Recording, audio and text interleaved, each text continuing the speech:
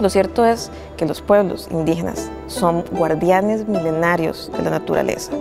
que justamente los servicios ecosistémicos de los que depende la sociedad, la economía y nuestro bienestar como personas depende de esos bosques que durante miles de años han protegido.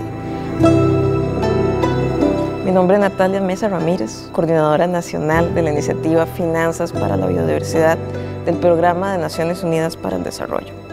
Para Biofin del PNUD es un gusto ser parte justamente de las alianzas de socios estratégicos que hacen posible justamente tener un rally de tecnologías geoespaciales, el primero en su tipo, destinado específicamente para mujeres jóvenes de los territorios indígenas de Buenos Aires de Punta Arenas y Pérez Celedón.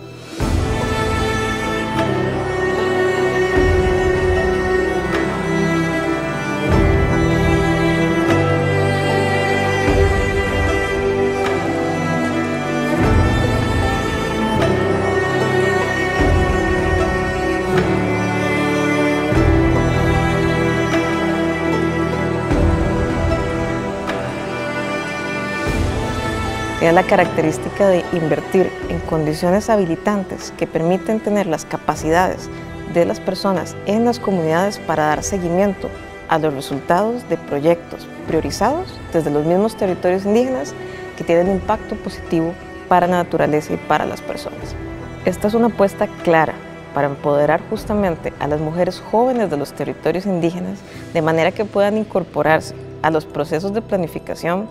con herramientas de tecnología de punta de carácter geoespacial y que justamente puedan incorporarlas a su cosmovisión, siendo esa nueva generación de mujeres empoderadas con una nueva herramienta que conecta con su raíz, que conecta con su